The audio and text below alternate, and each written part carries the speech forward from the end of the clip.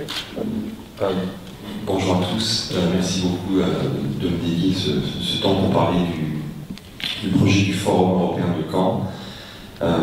déjà pour, vous dire que ça fait beaucoup d'effet d'être là à cette conférence et de, voir l'ensemble des, projets et de, la force qu'il y a autour de ces commémorations. Quelques mots rapides sur l'association. Le Parlement européen des jeunes, c'est une association qui a été créée il y a 25 ans et qui a pour objectif de, faire parler les jeunes sur euh, la construction européenne et sur l'Europe qu'ils souhaitent avoir.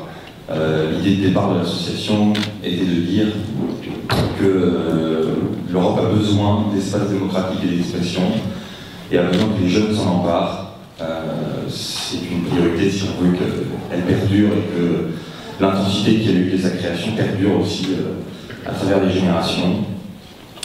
Et lorsque euh, l'Université de Caen, le Journal Ouest France et le Mémorial de Caen euh, sont venus nous, trouver pour, pour, nous proposer un projet dans le cadre de, ces commémorations, on a tout de suite été déjà très emballé, mais aussi voilà, très, très enthousiaste à l'idée de, pouvoir donner une autre dimension à nos rencontres, une dimension plus forte, plus historique aussi, euh, mais aussi plus grande.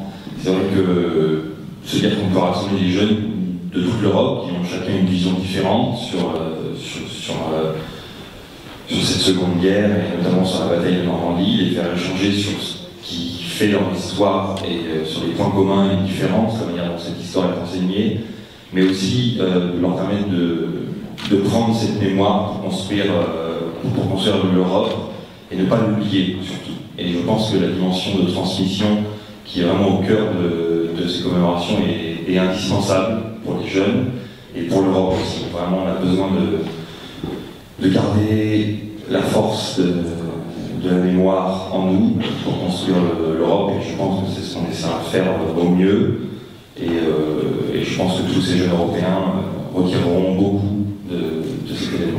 Donc un grand merci à tous les partenaires soutiennent ce projet euh, et, bravo à toutes les autres initiatives qui, se, qui sont présentes pour ces commémorations. Merci.